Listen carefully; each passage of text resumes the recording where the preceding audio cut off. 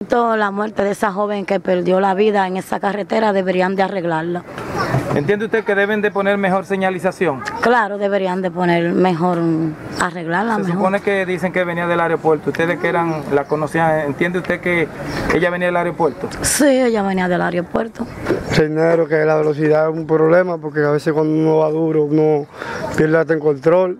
Entonces la velocidad uno tiene que uno mismo cambiar, tanta gente, tantas personas que se mueren. Lamenta en este sector la muerte de esa joven y que el acompañante esté herido. Pero claro que lamento la muerte de esa joven. Esa joven era una buena persona, bella persona, ¿me entendió? En verdad me siento muy mal por eso, porque ella era amiga mía y toda la vaina y su compañero. Que Dios en verdad lo tenga en gloria.